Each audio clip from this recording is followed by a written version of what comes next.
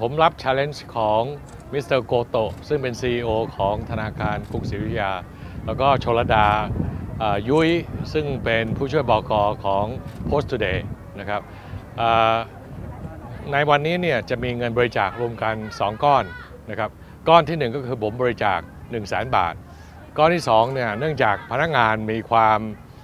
ศรัทธาก็บริจาคร่วมกันนะอีก 2 0 0 0 0 0 บาท ซึ่งในก้อนเนี้ผมก็จะ จะ match ให้2 0 0 0 0 0เท่ากันนะครับ เพราะฉะนั้นเงินที่ได้รวมกันเนี่ยก็5 0 0 0 0 0บาทเนี่ยก็จะแบ่งบริจาคเป็น 2 ก้อนนะครับ ก้อนหนึ่งให้กับผู้ป่วยซึ่งกล้ามเนื้ออ่อนแรงหรือ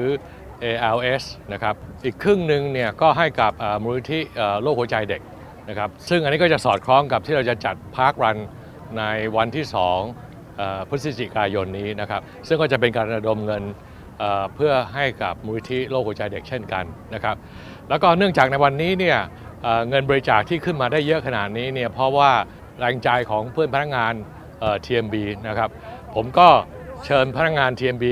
มาร่วมด้วยก็คือมาร่วมดูสังเกตการแล้วก็ร่วมเอ่อราดน้ำแข็งใส่ผมด้วยนะครับ ก็ขอให้ทุกคน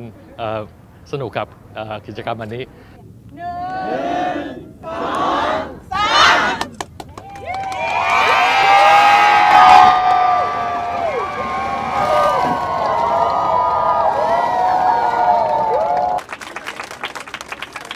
回麦克。